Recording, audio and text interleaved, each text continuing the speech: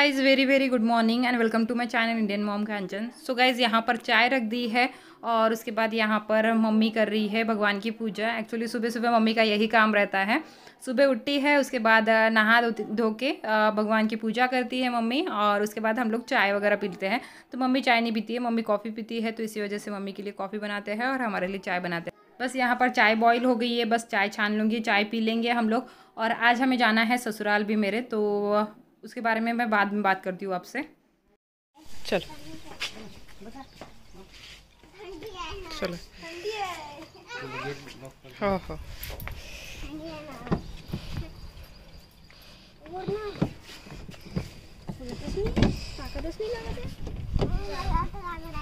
हे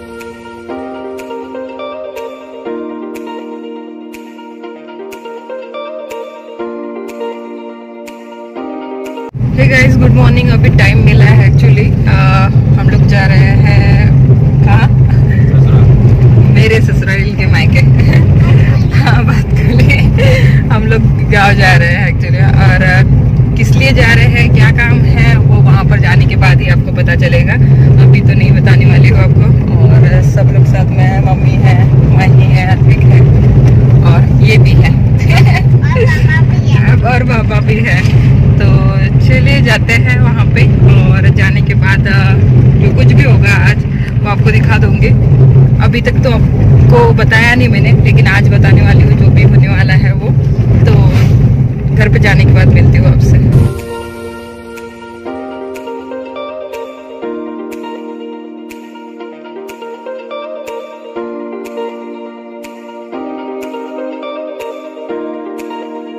साढ़े ग्यारह बजे है और हम लोग पहुँच गए यहाँ पे। एक्चुअली वहाँ से ही लेट निकले थे। बहुत जल्दी जल्दी किया। फिर भी लेट हो ही गए। बट साढ़े ग्यारह बजे अभी कुछ हुआ ही नहीं है वैसे। दीदी ने स्वीट बना लिया और यहाँ पर हमारे खेत के ये, क्या है? सोयाबीन। किस किस को सोयाबीन पता है? मुझे कमेंट करके ज़रूर बताइएगा। ये सोयाबीन रखा है पूरा। अभी इसे बेचना है। और, ये ससुराल का घर तो आपने देख ही लिया है पहले। अगर नहीं देखा है ससुराल होम टूर तो चेक कर लेना। डिस्क्रिप्शन बॉक्स में मैं उस वीडियो का लिंक दे दूँगी आपके लिए। और तैयारियाँ चल रही है हमारी खाना बनाने की। तो चलिए मैं हेल्प करती हूँ थोड़ी सी दीदी को, क्योंकि अभी बड़ी दीदी रोटियाँ बना रही है और थोड़ा सा फ्राई वाई करने में हेल्प करूँगी दीदी को। तो चलिए। बस हमारे आने के बाद यहाँ पे दीदी बना रही थी रोटियाँ। ये बड़ी दीदी है, आप लोगों को पता ही होगा, अगर आप न्यू सब्सक्राइबर हो तो नहीं पता होगा आपको, ये मेरी सबसे बड़ी जेठानी है। और बीच वाली जेठानी को भी दिखा दूँगी। बीच वाली जेठानी अभी बीच में आई थी घर पे तो आपने देख ही लिया होगा। तो ये है बड़ी जेठानी, ये है बीच वाली जेठानी और मेरी सासू माँ। तो यहाँ पर सब लोग खाना बनाने की तैयारी चल रही है हमारी। एक्चुअली मैं, आप लोग सोच रहे होंगे कि मैं वीडियो बनाने में बिज़ी हूँ, मैं क्यों नहीं बना रही हूँ? तो वो भी रीज़न आपको बता देती हूँ बाद में। देखो, छोटी सी किचन है हमारी और यहाँ पर हमें बैठने के लिए भी जगह नहीं है। और गाँव में ऐसे ही किचन होते हैं। और बाप रे, बच्चे कितना चिल्ला रहे यहाँ पर क्या बन रहा है बताती हूँ आपको। ये बड़ों के लिए और वहाँ पर पकौड़ों के लिए। और मम्मी बना रही है। लोइया और यहाँ पर दीदी रोटियाँ बना रही है। और हम लोग अभी फ्राई करेंगे दोनों। फ्राइड आइटम फ्राई करेंगे हम लोग। चलो। ठीक है? तीळ अच्छा। आहे ते? अच्छा अच्छा अच्छा. मंदिर अच्छा. मी तेच तर म्हटलं, का बरं चालत नाही मला?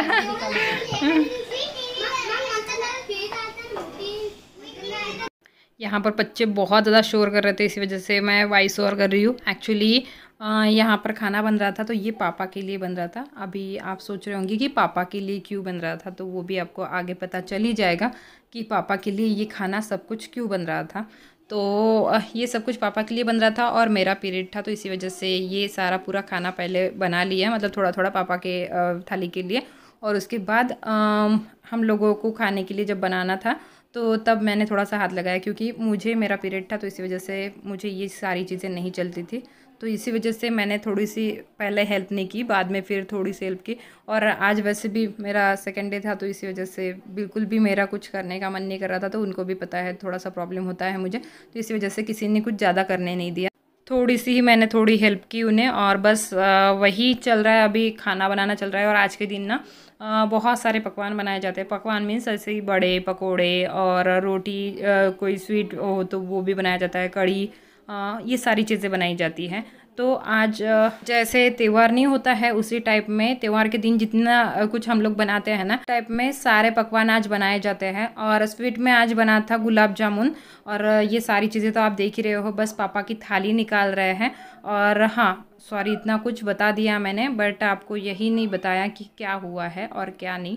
तो एक्चुअली मैं नहीं बताना चाहती थी। मतलब बताना नहीं बट टाइम आने पर बताना चाहती थी। बट यही मुझे लगता है कि सही टाइम है बताने का, क्योंकि आज ऐसा दिन है कि आज बताना भी ज़रूरी हो गया था। पिछली बार जब मैं आई थी ना तो उस टाइम मैंने आपसे शेयर नहीं किया था। क्योंकि अगर बताती ना तो बहुत से लोगों को ऐसा लगता कि मैं आ, मतलब व्यूज़ के लिए कर रही हूँ या व्यूज़ के लिए आ, सब कुछ बोल रही हूँ बता रही हूँ आपको।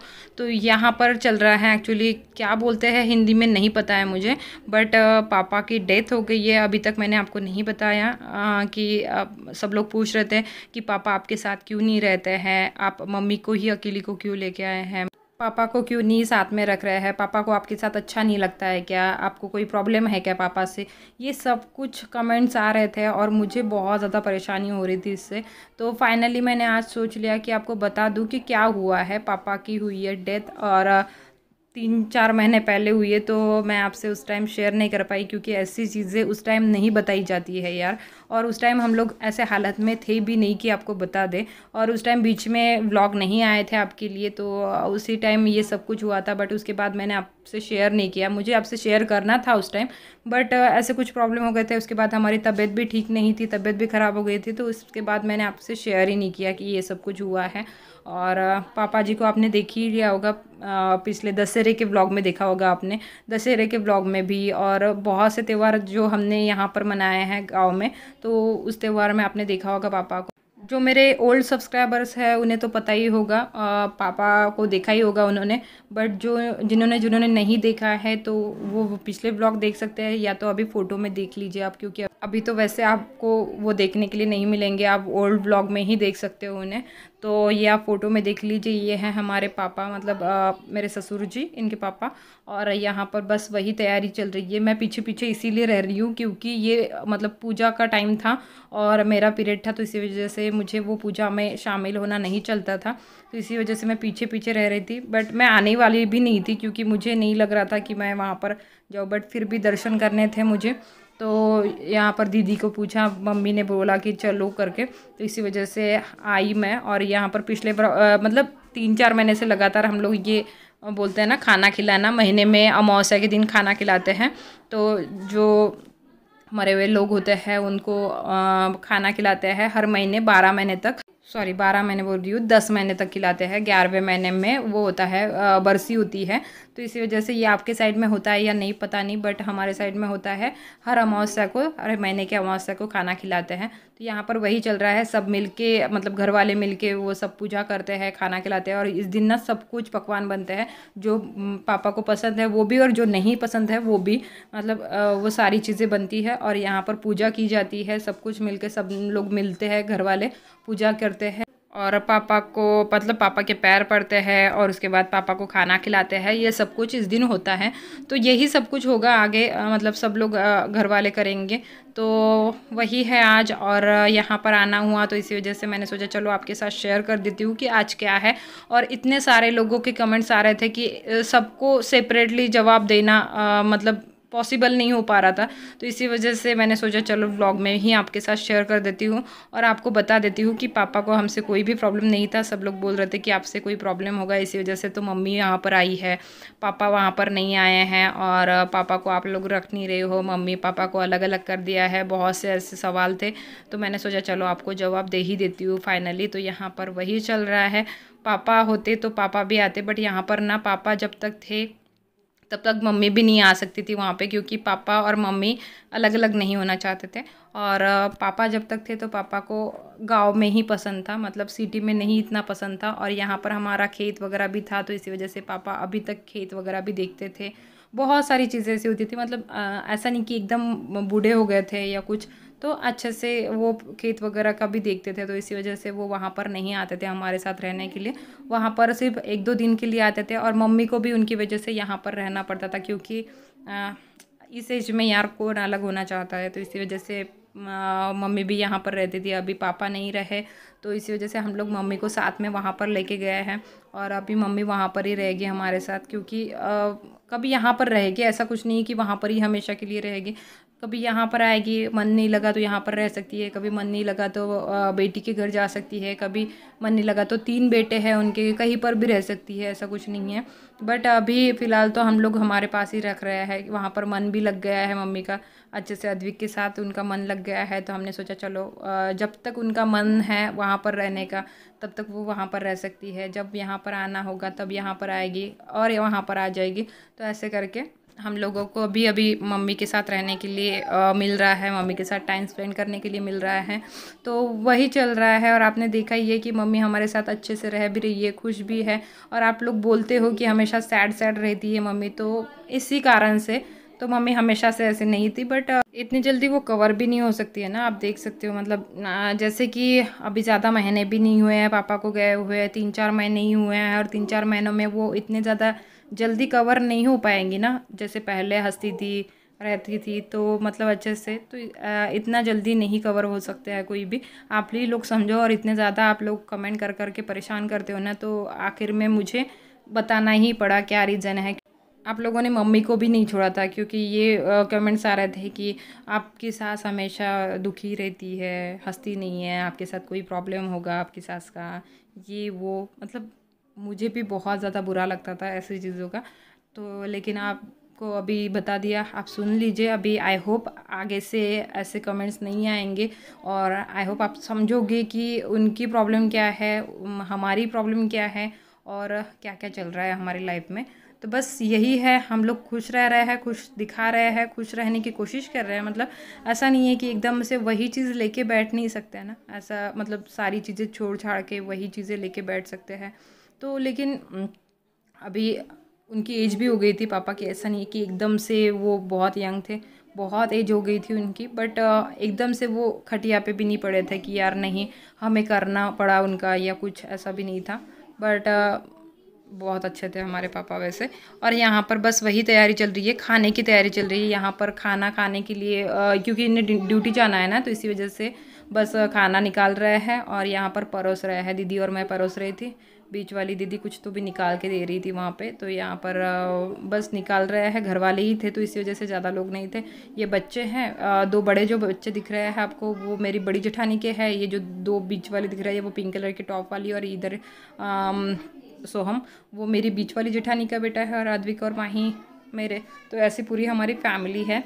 और बस यहाँ पर आ, आ, सब लोगों का जेंट्स का खाना हो गया था उसके बाद हम लोग लेडीज़ बैठ गए थे खाने के लिए क्योंकि आ, इनको ड्यूटी जाना था तो इसी वजह से जल्दी जल्दी कर रहे थे क्योंकि मुझे लगा था कि हमें इनके साथ ही निकलना है। बट इनको बाद में दूसरे दिन भी आना था। यानी बोला कि आप मत जाओ आप यहीं रुको और वो शाम को आ जाएगा।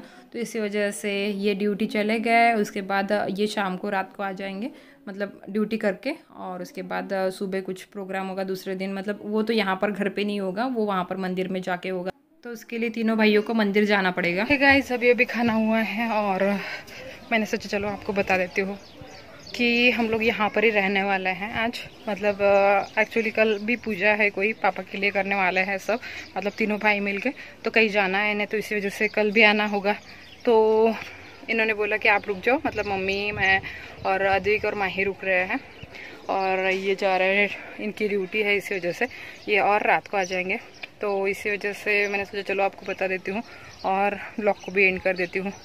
आपको ना बताने के लिए सॉरी गाइज़ क्योंकि मैं नहीं चाहती थी कि मुझे कोई ऐसे व्यूज़ गेन करने हैं या मतलब व्यूज़ के लिए कुछ करना है इसी वजह से नहीं बताया मैंने। हम्म, बस बाकी कुछ प्रॉब्लम नहीं था। बस टाइम आने पर बताने वाली थी बट इतना ज़्यादा परेशान कर रखा था आपके कमेंट्स ने कि आखिर में मुझे बताना ही पड़ा। मैं फाइनली मैंने सोच लिया कि यहाँ पर आ ही रही हूँ तो मैं आपको बता देती हूँ कि क्या क्या हुआ है और क्यों हमारे साथ पापा नहीं रहते हैं मतलब मम्मी को क्यों हमें वहाँ पर लाना पड़ा क्या कुछ। तो सब कुछ फाइनली आपके साथ शेयर कर दिया। तो ऐसा कुछ नहीं है कि यहाँ पर मम्मी कंफर्टेबल नहीं थी, यहाँ पर भी वैसे थी बट हमें लगा था कि चलो यार, कुछ दिन अपने साथ रखेंगे तो अभी मम्मी हमारे साथ ही रहेगी वहाँ पे। तो चले फिर इसके साथ इस ब्लॉग को यही पे एंड करती हूँ, मिलती हूँ अच्छे से नए ब्लॉग में आपसे। Till then bye bye take care and love you all bye